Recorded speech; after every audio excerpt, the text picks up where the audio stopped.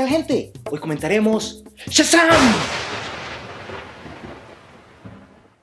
Se estrena este año una nueva película basada en los cómics de la casa DC, una casa que luego de sentar cátedra en el género con películas como Superman de 1978, eh, Batman de 1989 o la trilogía del Caballero Oscuro de Nolan, pues ha tenido dificultades recientemente con fiascos como Man of Steel o Batman vs Superman, pero que parece ir tomando el ritmo nuevamente con producciones como La Mujer Maravilla o Aquaman.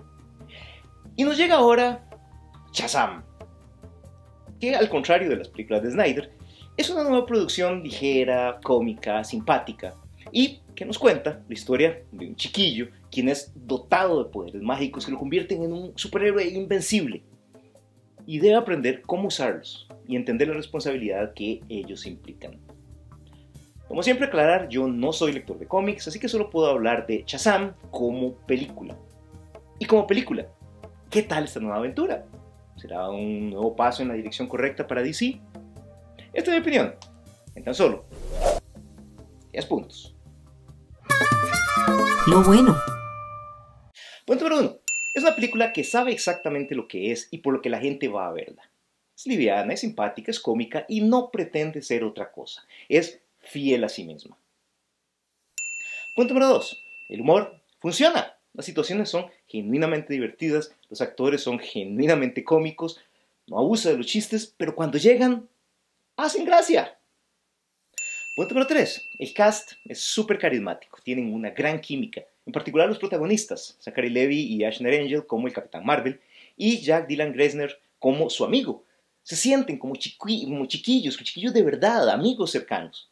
El resto del grupo, ah, pues no tanto, pero en conjunto funcionan. Punto número 4. La película no teme ir a lugares oscuros, tenebrosos, especialmente en cuanto a relaciones familiares se trata. Hay un par de momentos que realmente me sorprendieron en ese aspecto y esto le da a la historia una emotividad que la verdad no esperaba. Punto número 5.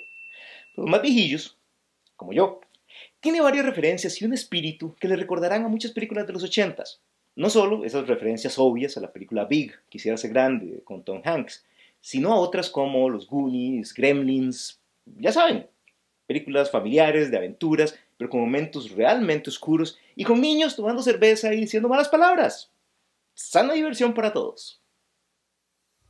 Y antes de seguir, ¿les va gustando el video? Pues no olviden darle like y compartirlo con sus amigos. Y si no lo han hecho, suscríbanse para estar siempre conectados. Y por cierto, por cierto, no olviden ver nuestro podcast Viendo Tele, en que hablamos de qué esperar para esta última temporada de Game of Thrones. Ahora sí, seguimos con el resto de los puntos. Lo malo. Punto número 6. El villano.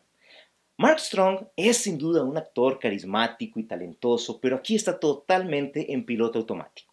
Es como ver al mismo villano de Kick-Ass o de Sherlock Holmes o de John Carter, o de Green Lantern, o de Robin Hood, o de Star Wars. Punto número 7.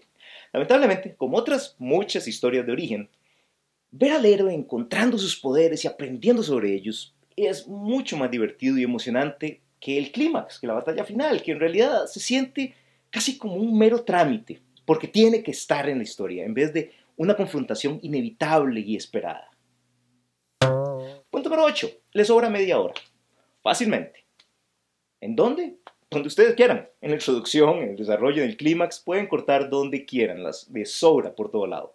La verdad hubiera quedado mejor resuelta con una mano más firme en la edición. Lo ambivalente. Usted decide si es bueno o malo.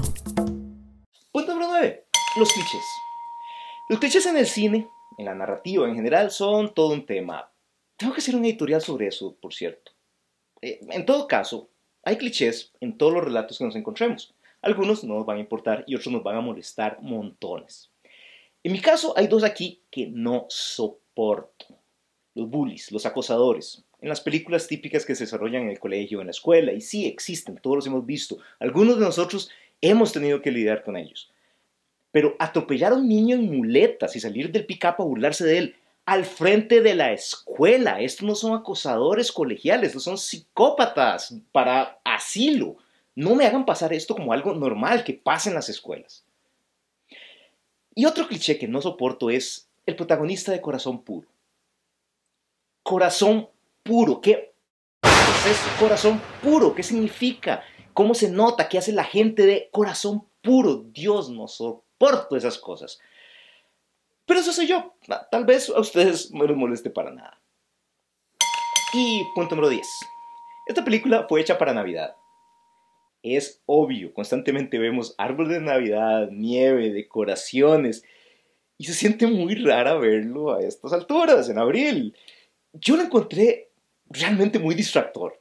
Si lo estuvieran viendo en Netflix no habría problema, pero siendo un estreno, no sé, ¿qué opinan ustedes? Estoy hilando muy fino, estoy trastornado. En resumen, Shazam es una película muy divertida. Más larga de la cuenta, con cosas que no tienen mucho sentido, pero en general muy disfrutable. No es el gran evento fílmico que tiene que verse necesariamente, pero si quieren simplemente ir al cine, pasar un buen rato comiendo palomitas y viendo algo ligero y que los deja sintiéndose contentos, Shazam es una buena elección. Y eso es todo con Shazam.